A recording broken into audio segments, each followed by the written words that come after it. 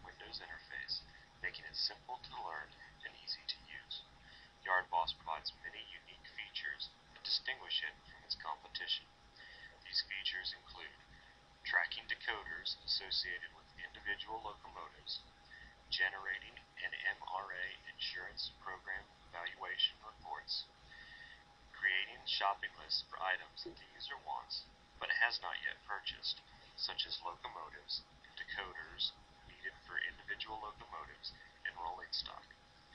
YardBoss supports multiple scales within a single collection by filtering reports, shopping lists, and export files on the scale the user has selected. It tracks multiple owners within a single collection, providing simple-to-use solution for use at club layouts or module shows.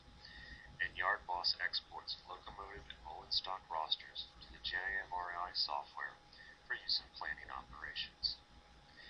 In addition to these unique features, Yard Boss includes standard model railroad inventory features such as sorting locomotives and rolling stock by reporting marks, railroad, and numbers, tracking details for each locomotive or piece of rolling stock, providing the ability to search for specific rolling stock or locomotives based on user inputs, include maintenance history, prototype information, or other information that the user would like to track.